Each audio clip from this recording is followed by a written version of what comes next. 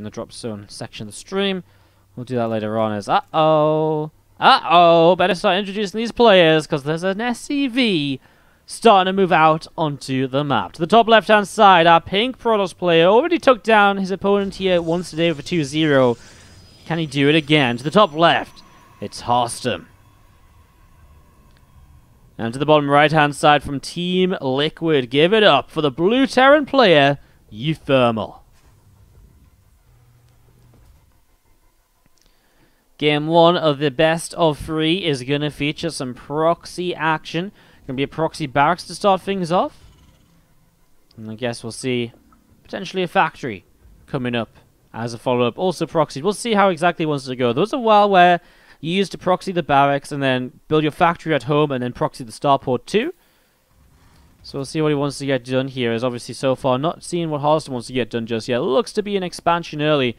And as if this probe coming out, he'll probably rally it. Uh, he's going to rally into gas. He should move to the low ground soon to take his Nexus, though. There isn't really anything he... Uh, as he's going to build a cyber core super quick, but that'd be kind of strange. He also doesn't have anything on the low ground, so... There we go. Probe is moving down. Again, maybe a little bit late with that. Yeah, he could have been down there and had the Nexus built already, so... Or starting to build already, so... Small Stake is going to see this Nexus dropping. Harstem. Send that up. It's going to be a Marine on the proxy barracks. Factory now starting to build up too as Harstem. Not going to be caught off guard by a proxy as he scouts around in this direction. Will come back over and he will end up seeing this barracks and factory. So this is a big scout here right away as Harstem now knows what he's playing against and he can start to react to it just that little bit faster. Reactor building on the barracks. Now I imagine this will be a complete proxied 1-1-1 as Harstem just going to instantly cancel the Nexus and look to defend this off of one base. So Harstem will look to defend this off one base. Two more gates coming down will make life a bit awkward for uThermal, who obviously now has to fight into this situation, which is not going to be super easy for him to fight into.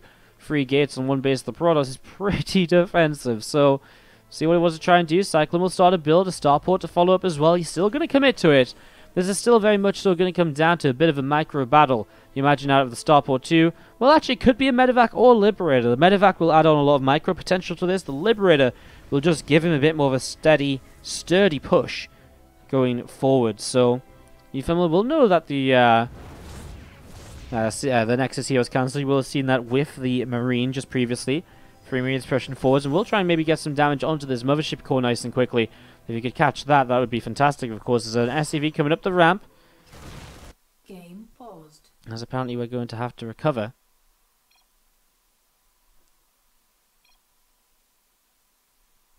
Because of a problem with the French casters. That's um a little bit awkward. Every screen.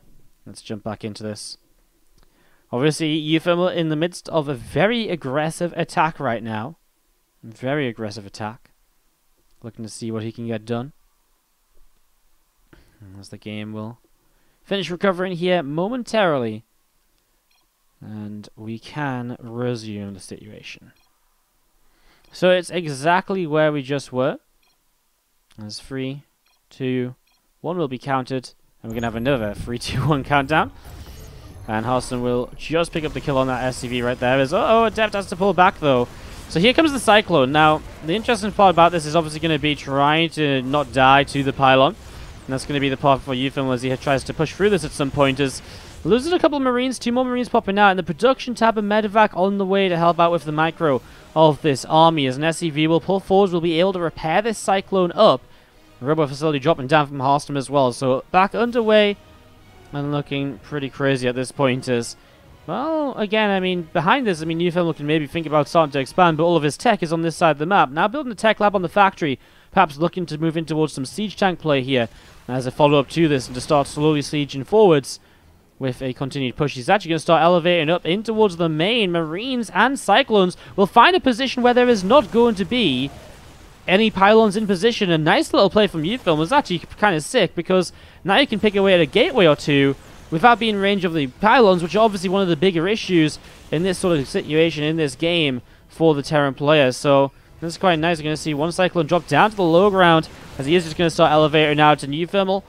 Kind of just buying time and pressuring a little bit further here. Uh, Tech Lab now finished up, but he supply blocked momentarily As that depot finishes, he will, I think he actually just called down supply to help speed it up, but he is going to siege tank out now. A Liberator on the way as well. An Immortal already here, though, and I mean, you have to feel that life is a bit difficult for Dewthermal at the moment, trying to keep on fighting against this first Cyclone will drop now, as the second Cyclone going to be forced backwards. Marine's still trying to fight here, Medivac to lift up that Cyclone at the last moment, still just taking trades. Now the Cyclone drops, and the Marines keep on disappearing. Feels as though Harstem has enough to push this away. I mean, a tank about to finish up. It will go into siege mode right away. Marines will drop to try and help fight this, but is it going to be enough? The tank will disappear so quickly to the Immortal Liberator is about to pop out. And I mean, if he can maybe pick up a Stalker kill or two, maybe there's something there for him, but it's going to be very difficult as I think Harstem just scouting this initially had a great response to it. As uThermal will just find himself being overcharged. And he'll tap out of this game. Harstem picks up game one of the best of three. Protoss in it couple of Protoss players in the Korean group, though, which could make a difference, is once again we're going to see a quick push across the map from our Terran player to the top left-hand side from Team Liquid. Give it up for uThermal. This time going to be still just the one SCV pushing across. As we have to the bottom right-hand side, the pink Protoss player, it is Harstem. The Dutch showdown here today for the second time, the rematch of this series.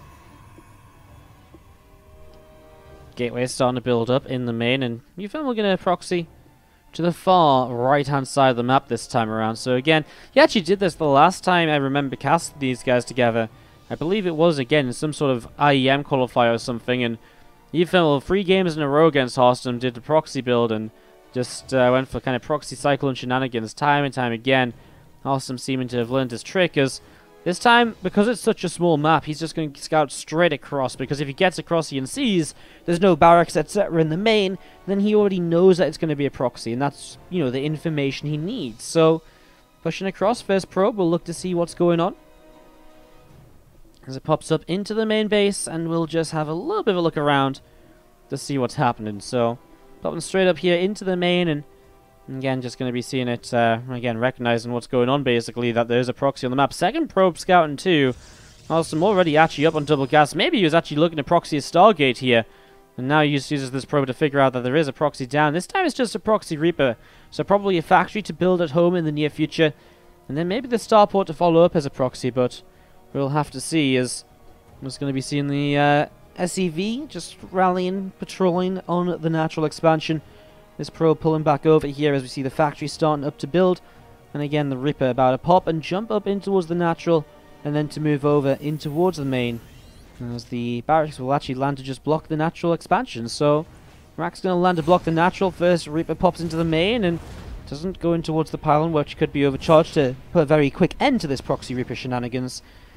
Yeah, I mean, with the Scout early and the Cyber Core before Nexus, etc., it just means that uThermal has very limited options, but Pylon's not in positions that are guaranteed a Reaper kill, which means Euphoba can still skirt the edges. Factory building back at home. Would be surprised to see the starport building over here as SCV is going to hide in the corner of the base and surely not going to build something here, right? No. I was going to say, it's a little bit of an extreme proxy starport if he's going to build in the base. He's just going to build the starport in the main then, as we see the Reaper still moving around. I mean, the fact he's still blocking the low ground is still pretty awesome with this barracks. I mean, he can block that Nexus for a long time with this. As we do see the Reaper still just diving and dodging. Overcharge coming down on the high ground pylon. Reaper gets taken down. SCV, though, will be able to pick up information as the game continues. Has already seen the Stargate, and that's why he's producing a Widow Mine to begin with out of the uh, factory. We're still yet to see what exactly the starport is going to stop producing right away. Maybe just a Viking? No, going to be the Medivac. So, Medivac coming up as an Adept and a ship core work the way through this barracks. So Reaper will try and come out of it once again. Setting up into that is this probe still moving around. He actually takes his third base as his natural. So he's going to pop down to Nexus anyways as this Oracle looking for a way in. Not going to run into the initial Widow Mine position on the edge of the base. And you found, well, he already has an engineering bay and a turret in the mineral line. So that's already fairly safe for him. Is Oh, man. Widow Mine's unburrowed at a really unfortunate time. And I mean, if he'd stayed burrowed, that Oracle might have been on a direct kill course. Uh, or on a direct death course, I suppose. Is SCV still just scouting around. Barracks comes over. Does see the expansion now over in that third location, which of course makes this a bit of a weird game. As this Medivac coming down to the south, and we'll be looking to drop in towards the main in the next couple of moments. A couple Widow Mines to look to see what he can do. So these two Widow Mines will begin to unload in a moment or so. Look to see what damage he can get done. But there's an Adept in position. There's a Mothership Core in position. And Yufim are just going to back out of there. Phoenix production on the way. And feels as though if the Stargate opening, you know, Harstem at this point can start to transition into a very standard sort of Phoenix Adept setup. Two Widowmine is pretty much the only real mobile anti-air still for uThermal on the map, considering his barracks is still floating around in the middle of nowhere. Which does mean that losing those would be somewhat problematic, as now who's going to time out? That's me. That's not great.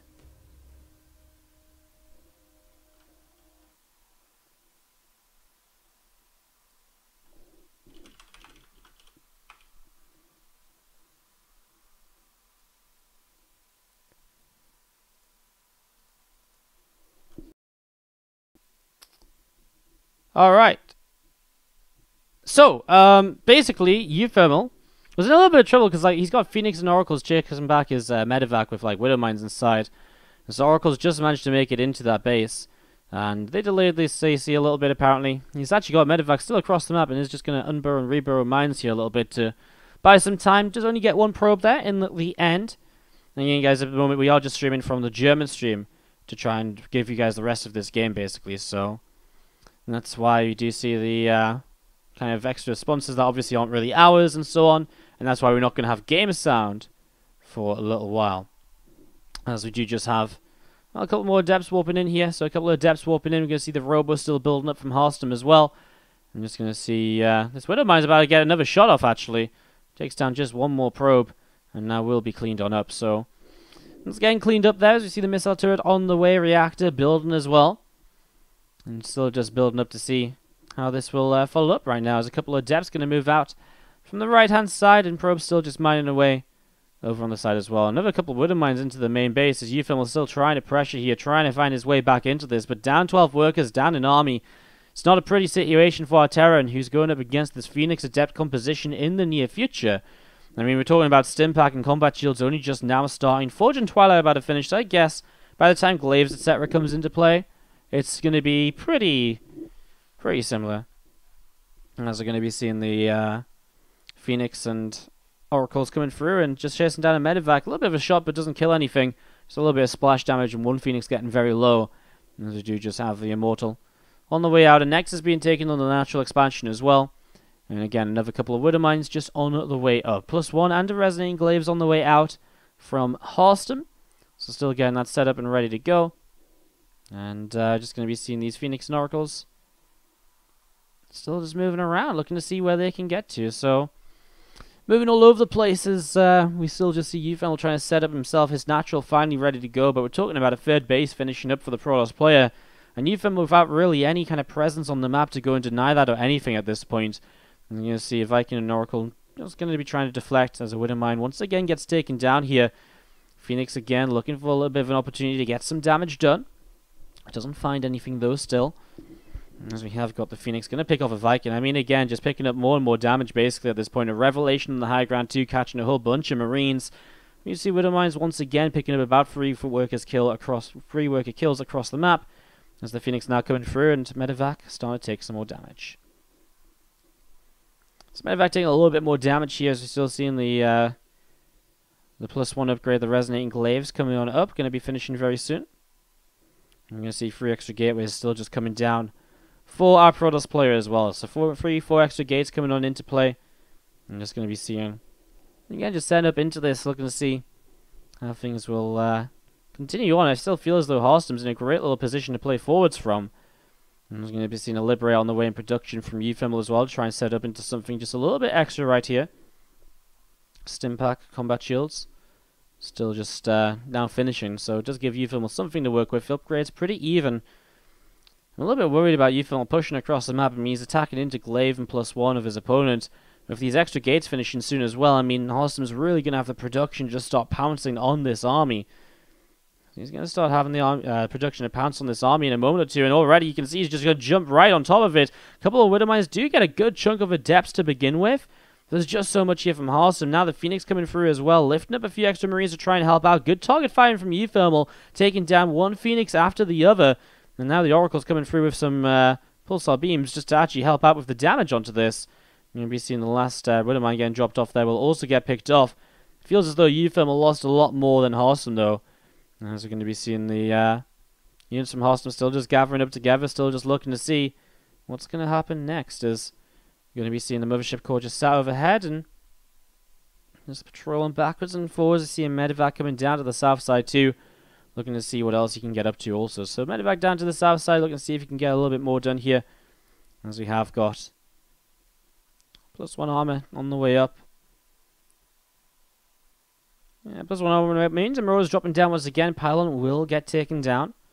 As the pylon gets shot down here, you're going to see Adepts taking a little bit more damage as well. So a bit more damage being done onto these Adepts as Marines.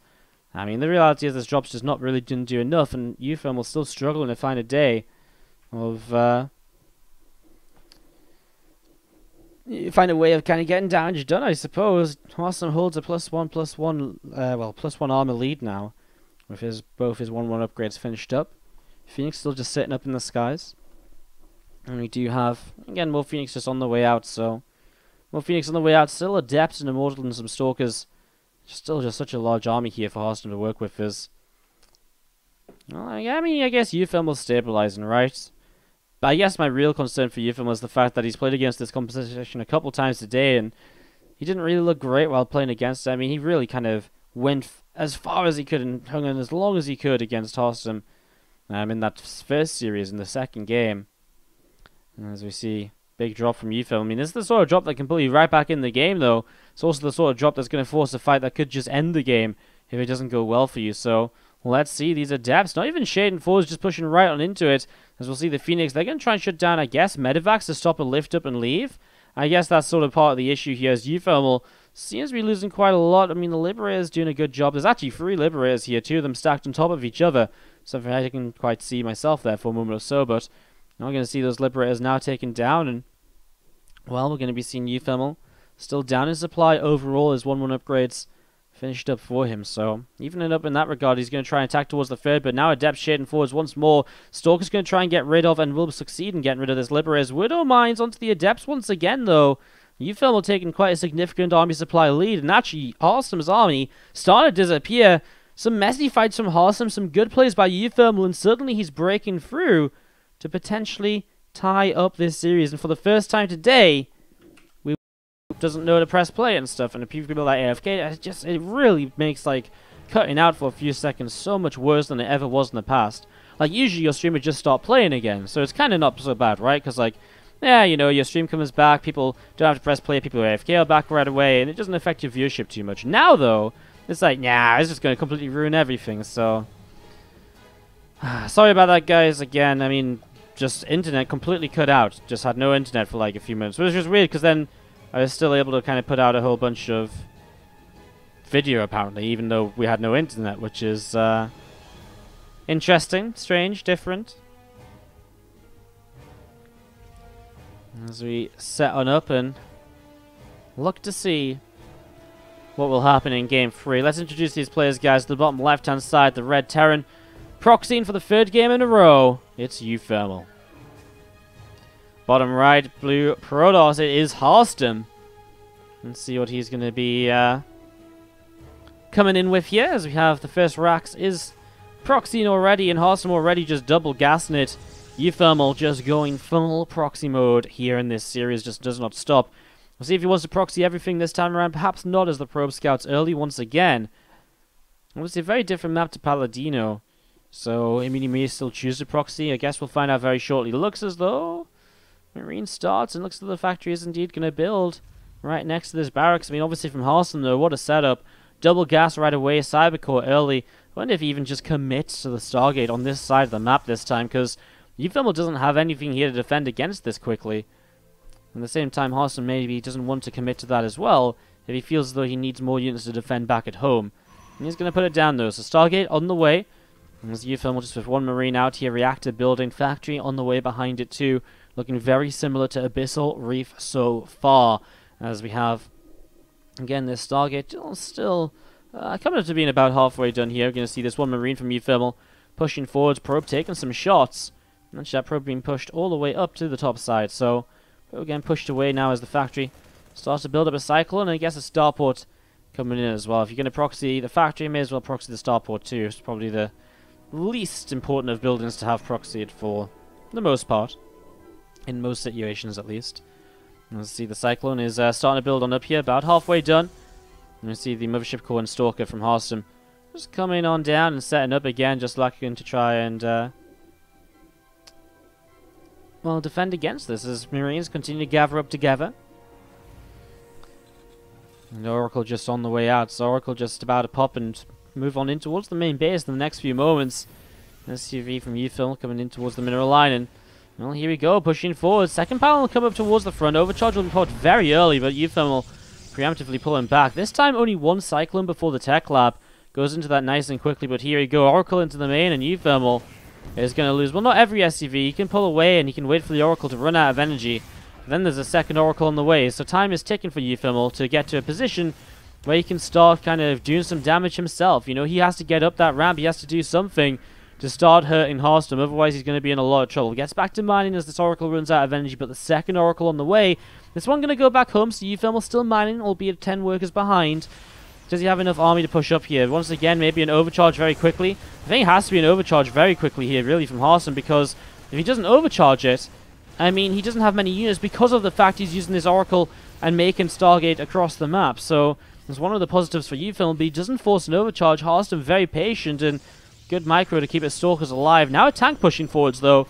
UFIL is still very much so in this, despite his lower worker count. This Oracle will be ready to go once again, though, shortly, so it's still important he gets something done soon as this tank starts to work its way through this pylon. And that's going to mean that he can get up the ramp at least. And getting up the ramp is a big part of this. I'm just going to be seeing, again, the siege tank moving forwards and Marines as well taking a little bit of damage. Stalker shooting. Bunker will start to come up at the frontier and so it's going to be seeing that Oracle to the side of Void Ray on the way up as well. First Void Ray on the way up. As we see a sec, uh, well, Oracle's just flying in. Two Oracles together doing a lot of damage, and even with the micro on the Marines, it's not going to be enough. And there's not really any anti-air left over here. Pros will come in to get rid of the Siege Tank, and that's uThermal. Without any units really left over, one cycle and you can try and micro around, but his bunker won't finish. Uh, sorry, indeed, the second Ray on the way up. I thought I was right with that, and I doubted myself. uThermal just doesn't really have an answer to this anymore, and pushing on through is just going to be too much from Harstem, as you can see. Needs to clean this up. I mean, Evil is still fighting until the very end. I guess from Harstem's point of view, He's actually... Does he not have Warp Gate, by the way? No. So I'm just going to be sat on just slow Stalker production, but especially the Void Ray makes uh, life a lot more difficult as... Uh, I'm just going to be seeing still. I mean, Going to try and push, but now Void Ray over here is just going to continue to pick his way through multiple workers, which obviously is not great. And uh, well, starts to deal with the Cyclone and the Marines, but man, it's such on such low health. It's not going to be too difficult as you really keep that uh, Void next to the SCVs. Newfoundland picking away at these gateways. Tank pushing forwards as well. Viking on the way out too. But Overcharge will buy a little bit of time. I mean, it's still somehow not over as an Oracle picks off a couple of reinforcements. I mean, this is the last. Uh, this is the last uh, gateway of Harstem at the moment, by the way. So he doesn't actually have any production other than the Stargate at the moment, and there is a decent number of Marines up. A Viking too will make a big difference, especially against Oracles, which are producing at the moment. And one Void Ray across the map won't help much in this defense either. I mean, it sounds stupid, but at the moment, UFM is still sort of making this happen. Another pylon is about to go down if he gets vision back on it. Dancing with this Viking. I mean, the Viking is so important to this at this point. Oracle and Void Rays come on through. The Cyclone will have to help with the anti-air, but I mean, the Mothership Core... Sorry, the, uh... Bobby... Oh, my God, what am I saying? The Void Ray goes down. Marines dropping Cyclone falls as well. Now only 8 army supply left. This is all uThermal has. Four Marines, and a Medivac, and another Viking. Uh... Surely not possible, right? Another Void Ray starts to build, and I think that's the real issue here. Oracle coming back as well, Marines start to drop. And he lifts, he backs away, but again, at the end of the day, it's pretty much just going to be it. Viking drops back down, Stalkers kill the Medivac. uThermal taps out, and Harstem takes the series two games to one, and will be advanced.